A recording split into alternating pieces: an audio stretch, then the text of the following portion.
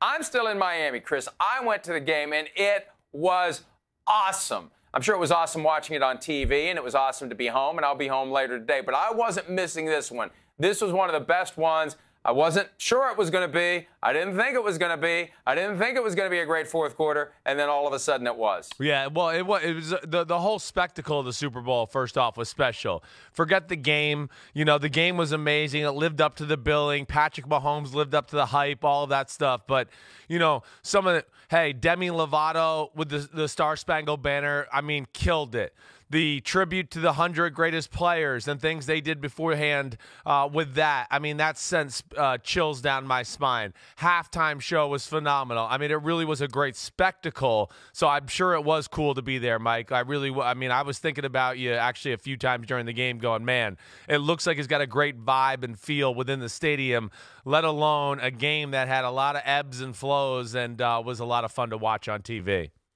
Three quick highlights unrelated to the game when the players lined up for the Kobe Bryant tribute, I didn't know what was going on. Right. When the players were lined up across the 24 yard lines on each end of the field as a further honor of Kobe Bryant, that was like, I've never seen this before at a game. And then we realized in the press box what was happening. And, you know, my wife and son always go to the game, and usually they're on the other side of the stadium. They were right below me, so I was able to go down and hang out with them at halftime, and that made it even more special. And my son had to have that goofy NFL logo black hat that Rob Lowe wore at the NFC Championship game. You know the one I'm talking about? Yes, I Where do. It's like, what the hell is Rob Lowe Right. doing? While wearing that hat, he had an encounter with Rob Lowe. Oh, it so, was meant to be. That's pretty it, amazing. It, it was it was absolutely great. Well, So- before we hit the and game too, the the one thing too, the kids running the football out, like that was awesome. I mean, it got my kids excited to watch the football game. So that was another special moment. And even I don't know if you noticed this, but like, you know, like cool people might notice this, all right? DJ Khaled playing DJ in the stadium pregame. I mean, those are little things I looked at where I thought, ooh, like the Jay-Z, you know, pairing with the NFL and all that. That's where it looked cool too. The music I thought was, uh, you know, very, very relevant during the game and everything else. And, and the, the game itself, look, 10 10 at the half, and nobody really knew how it was going to go. You got two masterminds who had an extended period of time. And it felt like halftime was even longer than it usually is. It did. And and, and, and right, who's going to take over in the second half? And it felt like your guy Kyle Shanahan was going to be the one. They went right down the field. And and fourth and two. I don't know. I look. I, I don't know that I fault them for kicking the field goal. It was a close game. You don't want to give up those three points. You don't want to give the Chiefs the momentum. I would have taken the field goal there as well. I don't care about the analytics. Take the three there, right? Uh, I, don't know how you feel about it, but I was okay with that. Well, yeah, I was okay with it. I mean, you, you know, the, I think the game was playing out the way Kyle Shanahan thought it was going to play out. That's why you didn't see him rush down the field, you know, at the end of the second quarter either, and with the timeouts and that whole scenario as well. I think he believed in his defense. I think he was scared. Oh, I don't want to give Mahomes the ball and let him start creating magic like we saw at the end of the football game. So I don't have any problem with that either. And and, and to that point we hadn't seen the Chiefs' offensive explode yet, so he wasn't looking at anything going, "Oh wow, we're desperate. We got to score a touchdown right right now." I just think he wanted to continue to play with the formula they were playing at, and he thought his pass rush and defense would get to Mahomes finally and wear them down, and they were close. I mean, it was twenty to ten. It was third and fifteen, Whoa, whoa, whoa, and you're going, "Uh-oh." let's back up. Yep, let's back okay. up. Back up. Right. Back up. Right. Because it's 13 to 10 after that drive to open the second half. Yeah. They chewed up five minutes and 31 seconds, and then we saw the first real frustration from Patrick Mahomes because the 49ers did what we thought they were going to do: drop back, keep everything in front of them, and eventually Mahomes tried to make something happen. He threw the ball right to Fred Warner. Right to Fred Warner. Yes, right. Right? Yes. Trying to get it to Tyreek Hill, but it went right to Fred Warner. And that was the moment, Chris, that I said, uh oh, I'm going to be sitting here in the chair on Monday morning eating a big old batch of crow because Simms is right. The 49ers are going to win this damn game. Well, yeah, it looked like they were frustrating him to this point, right? I mean, we were seeing him first off be off. You know, this this is. I, I just gotta say, Mahomes is unreal. He's the only quarterback in football that could have won this game. You know, with the pressure, people bearing down on him, people not wide open, some of the amazing plays he made, and to say all that, Mike, he didn't even play good for Patrick Mahomes. He really didn't. But the amazing thing is his like his 80% game, like, and not so good for Patrick Mahomes, is still amazing and better than everybody else in football. And you're right. I think they were panicking a little. He couldn't find he couldn't find any big pass plays in the pass game, and because of the speed of the front, he wasn't able to extend. I think some of the plays as long as he he was used to extending them throughout the playoffs. And uh, I just I I don't know what else to say about the guy. I cannot believe they were down twenty to ten, and I was sitting there going, my buddy Kyle Shanahan is really close to winning his super, the Super Bowl here and being a Super Bowl head coach and they just exploded. And on that third well, and 15 was the moment where it all exploded from there on out.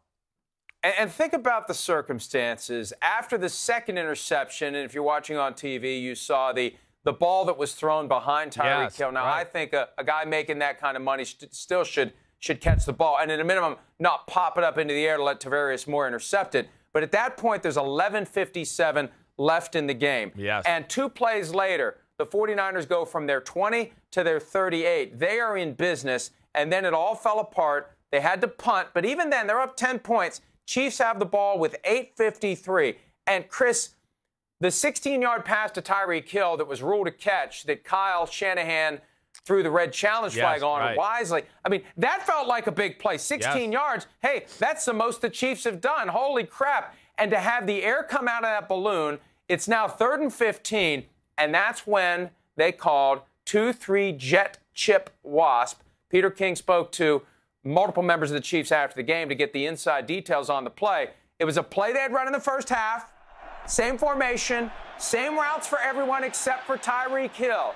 Patrick Mahomes got the ball at the 30, faded back to the 22. Yep. And instead of running straight at Jimmy Ward, the deep safety, right. Hill cut to the corner and that was that. From the 22 to the 22, the ball went total gain of 44 yards, and that was the moment that the Chiefs had real hope that they could pull this thing off. That, yes, it is. You know, and, and, and to that point, you know, you talk about the Watkins missed throw that was challenged by Shanahan. You know, you hit the Tyreek Hill interception. Yeah, you'd like to see Tyreek Hill throw that ball. I'd also like to see the quarterback who's going to be making $42 million a year throw it right on his chest. But Mahomes was off, even on that play to to the Tyreek Hill that got you know uh, overruled with the Shanahan's challenge. I mean man, he was wide open. He was being careful. He'd already been scarred by the two interceptions. So then I just, as a quarterback, look at his ability to let it go on the third and 15 because I'm sure he was going, man, I throw one more interception, we lose, and everybody's going to go, man, you're like the GOAT in a bad way. You just lost us the Super Bowl, and now we're going to talk about can Patrick Mahomes win the big game and all that. He delivers. And to that point, too, Mike, that play there, yeah, that's a Seattle defense type beater. Uh, it, it, it really played a game plan specific type play, but that jump started things, Mike. And once they got that touchdown there, they get the three and out, they get the ball again, and this is what we've seen all playoffs. Once they get rolling, you just can't stop them. Shades of the Philly special from two years ago. Patrick Mahomes asked for that play. Andy Reid said, wow. "Okay, we'll do wow. it," and it worked. And it was just, and look, there still was a lot of work to be done, right?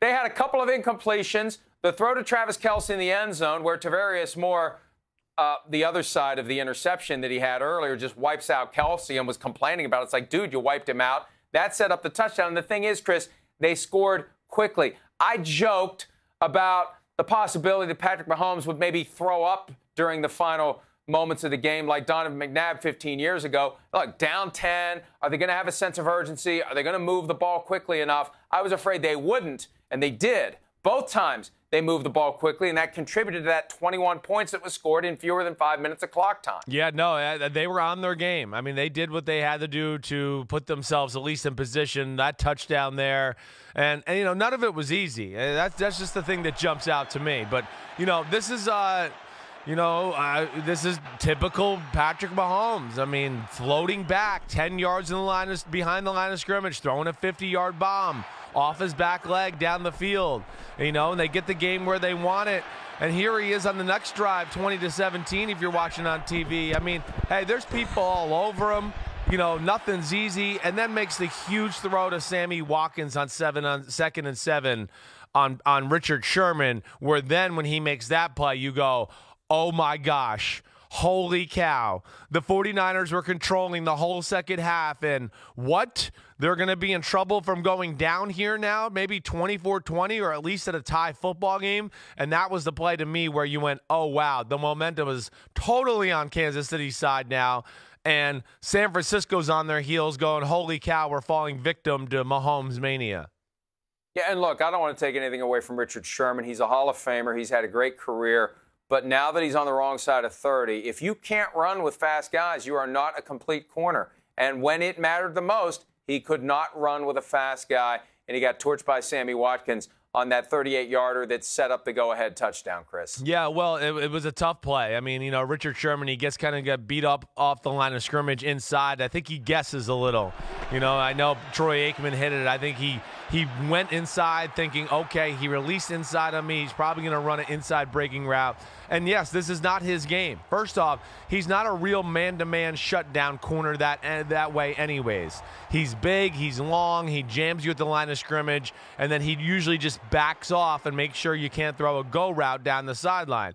But they're they're trying Chris, to Chris, yeah. Chris, isn't that a spot where he gets beat at the line of scrimmage? He should just tackle Sammy Watkins. Well, yeah, well, you know, maybe you could certainly think about that. I mean, or maybe just a quick hold right away, get defensive holding, make it be five yards and a first down, no doubt. But I think he's still thinking, hey, I'm Richard Sherman, and I'm not in a horrible spot here. The guy's going to have to make a pretty good throw. And the deal, the problem is the guy making the throw in a big moment just never misses a damn throw. I mean, that's what's unbelievable. That's why he's the greatest player in the sport. And now, when when you have moments like this, MVP first year starting, Super Bowl MVP, Super Bowl champ, like watch out because this is when you just go the pressure's off Mahomes and it's only year 3 and now he can just be like I've already won the Super Bowl. I know what it takes. I'm the man. I can deal. I can come back from 20 to 10 in the fourth quarter of the Super Bowl with 6 minutes left. I can do anything. And this is what I think leads to greatness like we've seen with a Brady or other great quarterbacks, even Terry Bradshaw with these early Super Bowl championship wins, it allows them to have no pressure and then really strike for more. After the second interception, Mahomes was 8 of 13 for 114 yards, two touchdowns, no picks, a 129.5 passer Ooh-wee. rating. Forgetting about that performance that did have him, and you mentioned it, I mentioned it last hour on radio, he would have been the GOAT in a bad way. Yeah. If that doesn't turn around with those two interceptions, and he just forgot about it and he moved forward and he got it done. And as you mentioned, came back from a 10 point deficit in the fourth quarter. That's only happened three times in a Super Bowl, Chris. And two of the times Kyle Shanahan was calling the plays on yeah, offense. What I hear went you. wrong for the 49ers and for Shanahan? We're going to discuss that when this Super Bowl Monday edition of PFT Live continues. Hi, I'm Mike Tirico, and thanks for watching. Make sure to hit subscribe for the latest news and highlights from NBC Sports.